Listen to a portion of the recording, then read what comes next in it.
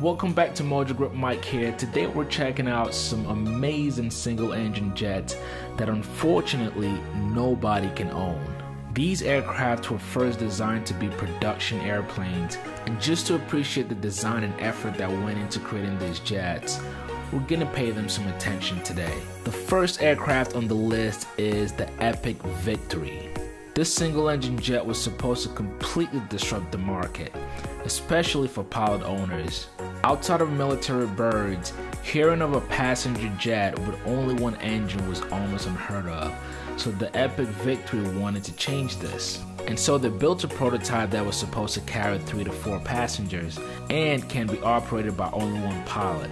Now, given that a single engine puts this aircraft in the very light jet category, and what that means is you only need one person to pilot it. Epic Victory was beautiful to look at. The production model was to be powered by a Pratt & Whitney PW600 engine, which would push this jet at almost 300 miles per hour in cruise. You had a range of over 1200 miles and you could fly it up all the way to 28,000 feet.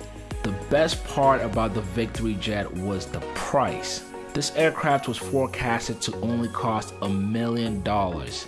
A million dollars. For those who are not so familiar with jets and business aviation, a million dollars is a drop in a bucket for a brand new jet. You'd be dropping at least $2.5 million to get your hands on one. Unfortunately, the Epic Victory didn't make the cut, and the company decided to pivot and instead they built an amazing turboprop airplane in the Epic E1000 with more capabilities, better performance, and more cabin room, but at three times the purchase price. Next, we have the Piper Jet PA 47.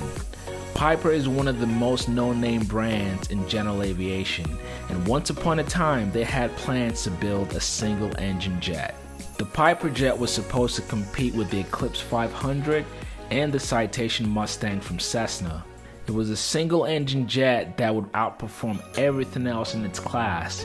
Expected cruise speed over 400 miles per hour, you had a range of 1500 miles, and this jet was supposed to fly all the way up to 35,000 feet.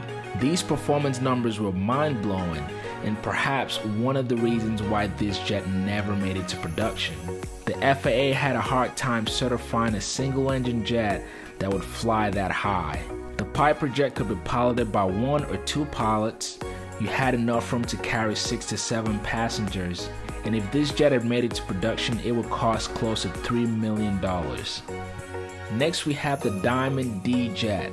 Diamond Star is also one of the well known name brands in civil aviation. I actually trained in the Diamond DA 40.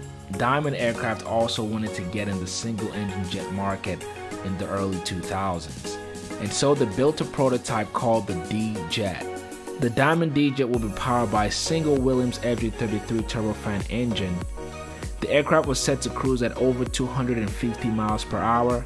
You had a max cruise of over 350 miles per hour and a ceiling of 24,900 feet. The cabin of the D-Jet was designed for four passengers and a single pilot. The first flight of the prototype was back in April of 2006 and as Diamond Aircraft continued into their process of certification, unfortunately, five years later, they had to drop the program because of the lack of funds. If this jet had made it to production, it would cost around $2 million. Next on the list is the Stratos jet, the Stratos 714 or 716X based on their latest prototype. The Stratos jet have had a very complicated history and there may still be hope. As a matter of fact, this is one of the only few jets on this list that may still be purchased in the future.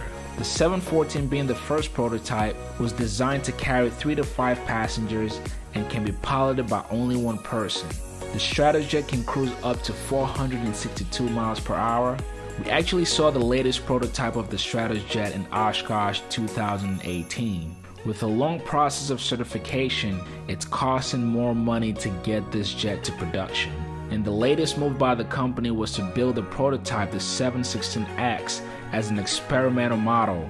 This way, they can get more buyers in and raise some more money to be able to get the production model done.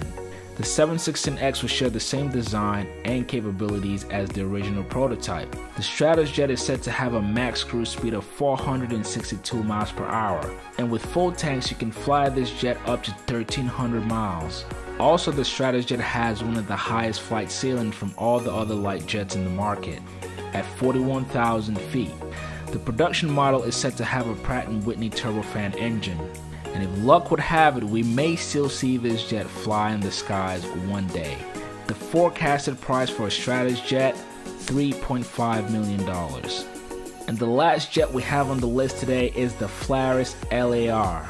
Here's another jet we've actually featured here on the channel before, and the Flaris jet is the only aircraft in this list that's not produced here in the United States. The Flaris is a Polish design that was introduced not too long ago and it too will have a single turbofan engine. The Flaris jet was designed to be light and very fast. The cabin space would take up to four passengers and one pilot. You can expect the production model for this jet to have a Williams FJ33 or a Pratt & Whitney turbofan engine. This is where the Flaris jet shines, its performance. Cruise speed is set to 430 miles per hour, and you'd have a range of up to 2,000 miles.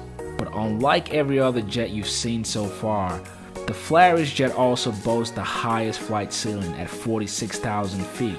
Now, this is also a jet that you may be able to purchase sometime in the future, but certainly not now. The Flaris jet have had a few modifications from its original prototype, and it actually took its very first flight in April of 2019. Currently, the Polish company is going through certification and they do expect this jet to be a production aircraft one day. The price tag $2 million. And that is it for today's video. I hope you enjoyed it. If you did, please go ahead and give a thumbs up. And if this is your first time, be sure to subscribe to Mojo Grip. Thank you so much for watching. Also, make sure you sign up for the mailing list at mojogrip.net. Again, my name is Mike, and I will catch you on the next video.